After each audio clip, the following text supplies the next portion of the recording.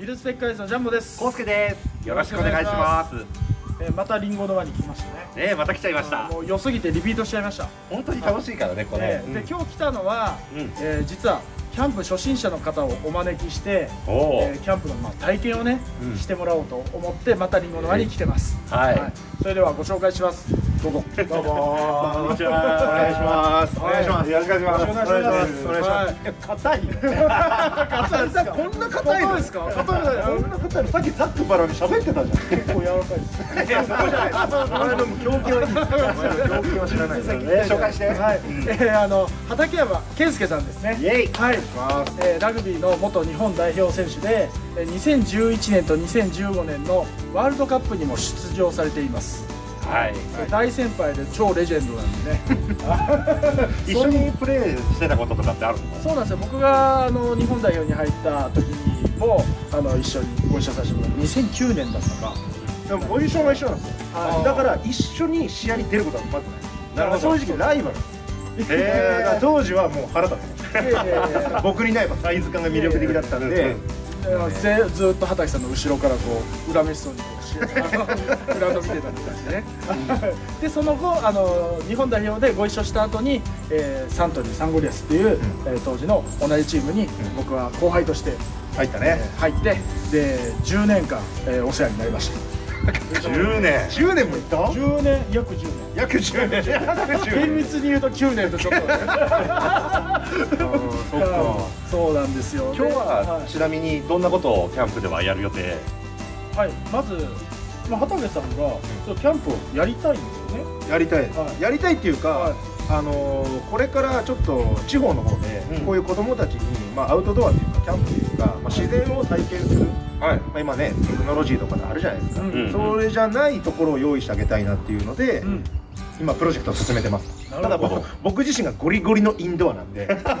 やったことないはい。いその偉そうなこと言ってきながら。でやってことないやつが教えるってのも変だなってなって、ぜひ一回体験してみたいなということでうん。ちょっとはいジャンボに相談をしては実現したと。いなるほど。なので今日はあの一通りねキャンプを楽しんで体験してもらおうと思います、そしてまたそのイベントの方も詳細が発表されたら、んえー概要欄の方にも載せておきますので、えー、チェックをお願いします。お願いします。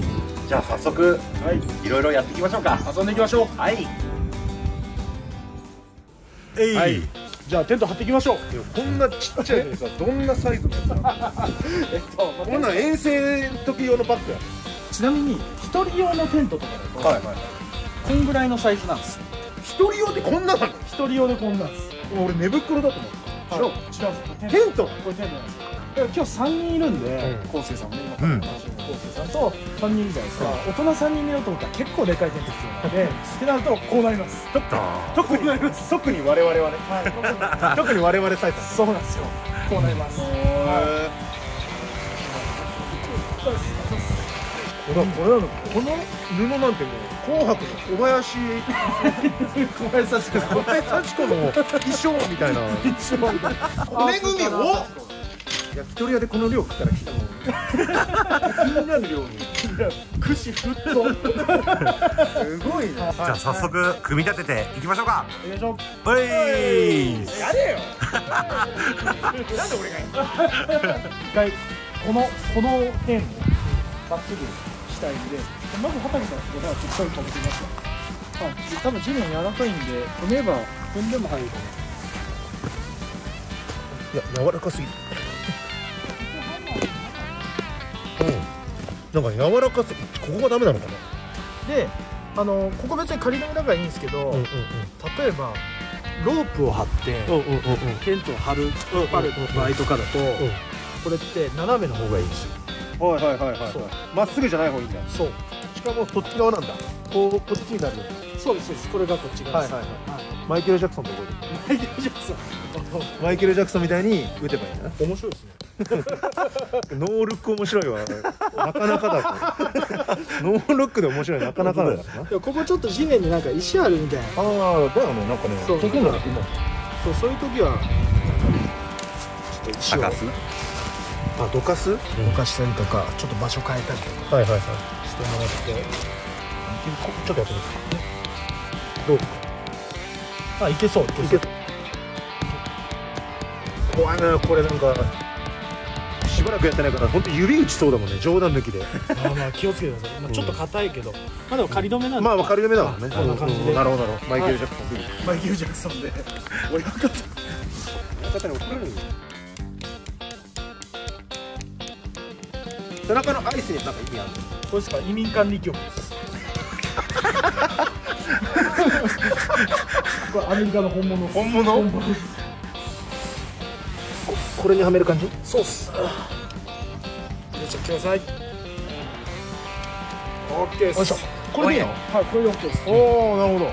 弾かれた方がいいっぽいこれはねもう順番で大丈あ順番にいいんだ。夫順番で大丈夫なんか素人だとその自立させるためにまずこう両サイドから攻めていくのかなと。思ってこれなんかね両方立っちゃうとうん。通しにくくなる。あ逆に？はいあそうなん。だはいよいしょ。はい。これは指挟まないように気をつけなきゃいけないね。そうですね。これがやっぱりな生だよね。生生ならではの生ですね。生です。だからね本当に。生ならではのハプニンハプニングが。グ 悪い顔してますか？これ遠慮する感じ 大丈夫です。あのすごくいい人になるように編集するんで。イエーイめっちゃホリデーだね。2回やってくれた。カメラさっき撮れてないんだそう1回目撮れてねえなっつって。これ立つとこないあその黒いのが刺さっているところにう。もう一個ピンがあるはいはいはい。あこっちなんだ。おいい感じいい感じ。うわ刺さった。すごいすごいすごい。確かにしっかりしてきた。こそうなんですよ。れそうですこれ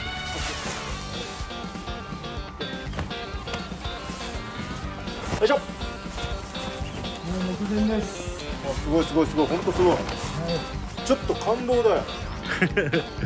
いや初めてテントいや小さい時立てたことあるかもしれないけどちゃんと大人になって立てたの初めてじゃんうん。だからこれ全部跳ね上げちゃうとこれ、うん。こっち側も跳ね上がるんですごいすごいことになるで。っかい屋根に家だ。イエスじゃあ家でやれって。まあじゃあ家でやれってやじゃあるめっちゃホリデーはいできました。見ました。うん。はいできました。やっとだ。やっとできました。時間かかってないからどれぐらいかかったのもう暗がりましたから。ねそれはもう雲のせいだと思うけど。ね1時間ぐらい。1時間ぐらいです。そんなでも楽しかったからそんな感じなかったようんだんだん面倒くさくなります。あこっから？いやいやいやあのこれがね繰り返す。あそういうことはい。ね今日は初めてだから。そっか。やっぱ初めてって何でもね。よしじゃあ中入ってみようか。なんかなんか気になる。中入りましょう。はい。おすごいすごいすごい。うわ飯気持ちいい。はい。あああれ？床行かないです。床ない？の行かないです。じゃあ地べただねえっとそのためにいろいろマットとかを持ってきてああそういうことあで今日あるの？マットあるじゃあマットも一緒に引いちゃおうか。じゃああれじゃない？桑田のマスミも喜ぶじゃない？マット引いてくれたら。でこれが息子のマットをね。本当だよね。分かんなかったんだよね。俺ずっとマットマットって結構強調して言ってたんですあはい。もうお化粧バッチリのマットが。あはいはいはい。でも確かにこれあったかいもんこれ箱冷えもねあれ入れてなるほど。これは NASA が使ってるやつですよ多分あそうなんですか？お邪魔します。おーあすげえ広いえすごいじゃん。これもう締める。よいしょ。よいしょ。あざすあちなみに俺もあれシレジャーシートみたいなのあるけど。あありがとうございます。じゃあうんぜひ。買う？はい、ん。ぜひ使わせていただいて。そえーじゃあ今から焚き火の準備やっていきます。はい。はい。こんなぶっとい薪に火つけたことってあります？いやないよさすがに。まあですよ、うん。でもバーベキューとかで炭とかは？でも炭とかはやったことあるよ。でもなんかこういう薪に火をつけるっていうもうしたことないんじゃないかな。暖炉とかでなんかやってるのを見たことあるけど、い。自分ではやったことないそうですよねあのこういうでっかい薪ってマジで火がつきにくいんですよ。まあだろうね。そう。んだから例えば松ぼっくりとかああいうちっちゃいやつから火つきやすいちっちゃい焚き付けから順番にん。細い薪を入れてって、はいはいはいはい。で最終的にぶっとい薪を。段階を踏まなきゃダメだそういうことです。あそうなんですよ。あなるほどね。なんだけどちょっとね今ね太い薪しかないんですよ。そうだね。俺見ててはいどれが細いやつなのかなと思って。ぶっとい巻きじゃないんですよ、でちょっと待って。はあここあこれでも太いんだ。い、これでも太いです。へうん。じゃあそれ。宇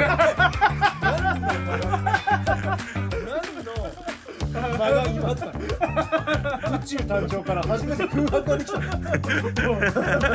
認しました。いろいろと。いろいろな物理現象が溜まった気がしたでまあできるだけ細い巻きとあとはいフェザースティックっていうのをちょっと作るのを今回チャレンジしてみたいと思います。なんか見たことある？あります。なんか細いやつあなんかシュッシュッシュッそうそうそうそうそれそれ。ですあのじゃああれ絶対難しいじゃん意外といきますって。本当？でも僕も成功したことないです。なんでだよ。あんな綺麗にいったことはないです。あそうなの？はい。そうなんです、でもそれをちょっとやっていくんで,、でまずは細い巻きを作るためにバトンバトニングっていうのを。うん。バトリング？バトニング。っバトリング？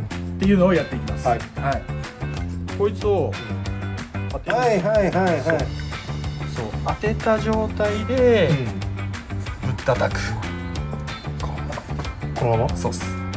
そういうことっす。そういうことっすそういうことっす。叩きやすい。あいいっすね。あこれいいね。あそうそうそうそう。はいはいはいはい。そうそんな感じ、まあ慣れちゃえばはい。大丈夫かでもちょっとちっちゃいですよこれ。でもはい。これをこれは後に第二段あ階これもう後に使えると思います。だよね。は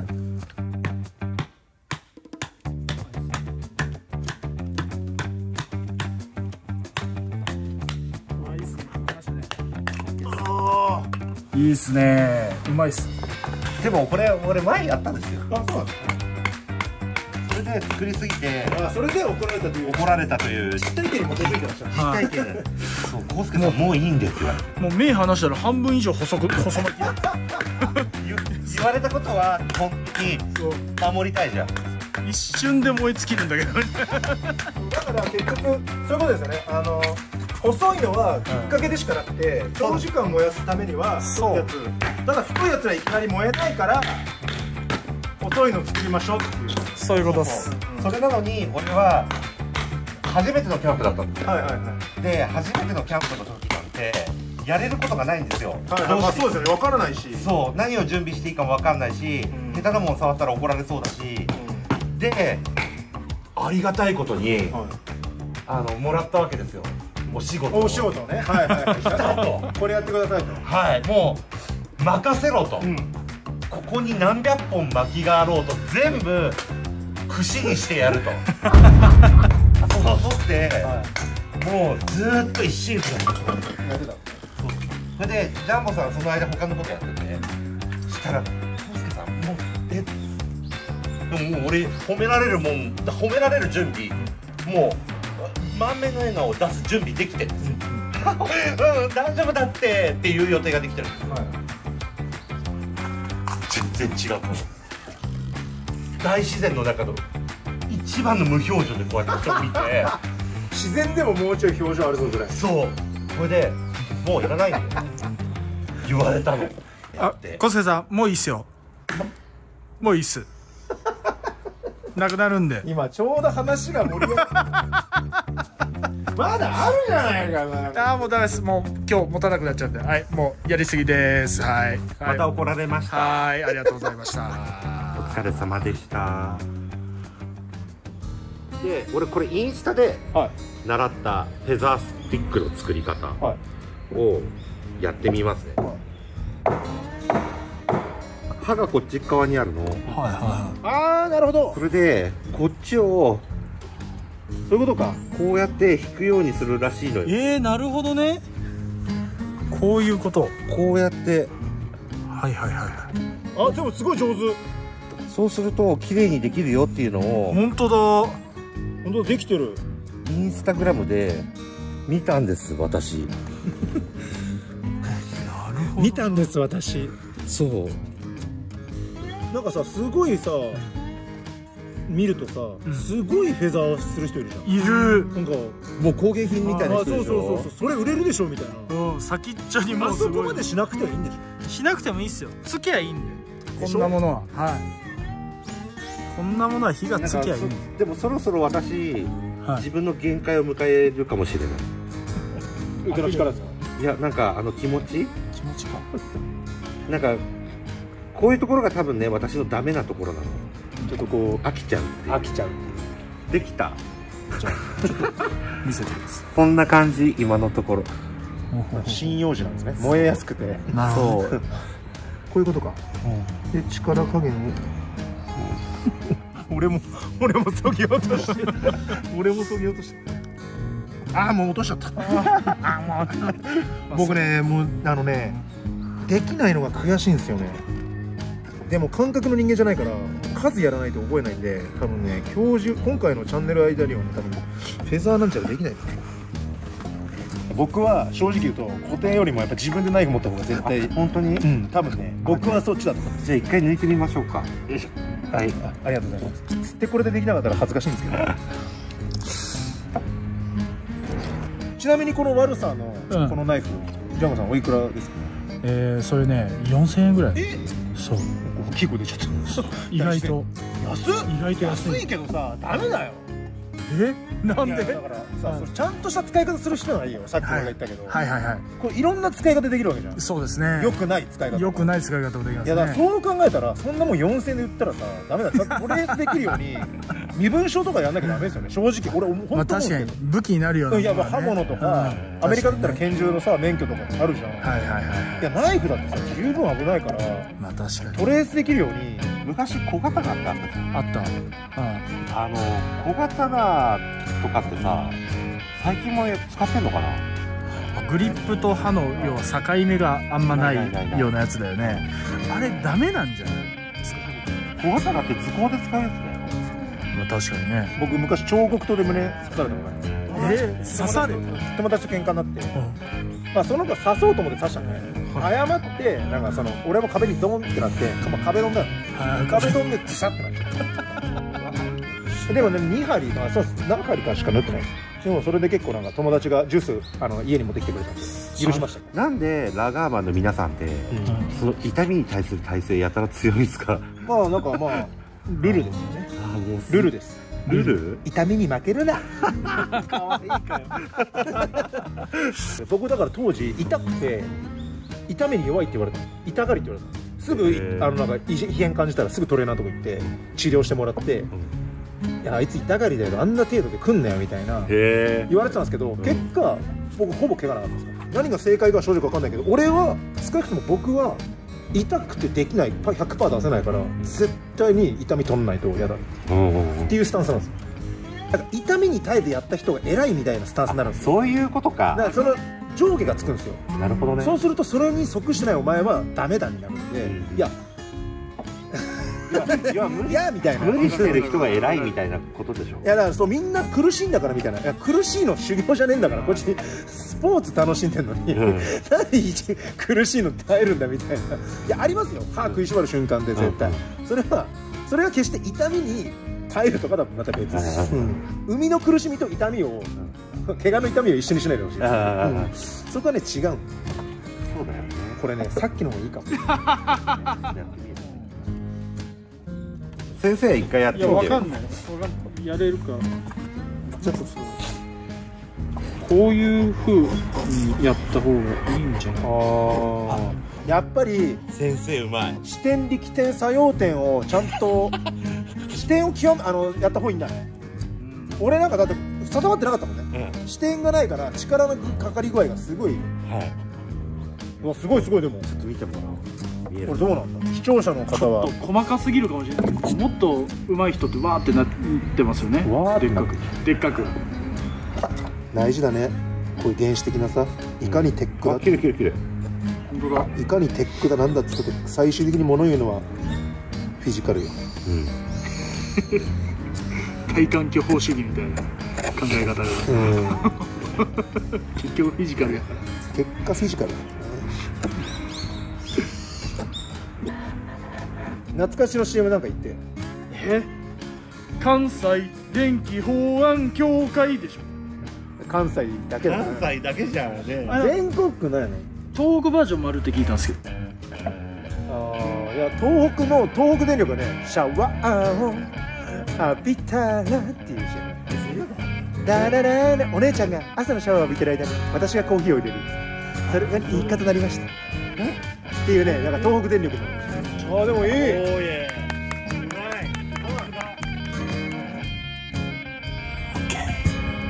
いいね。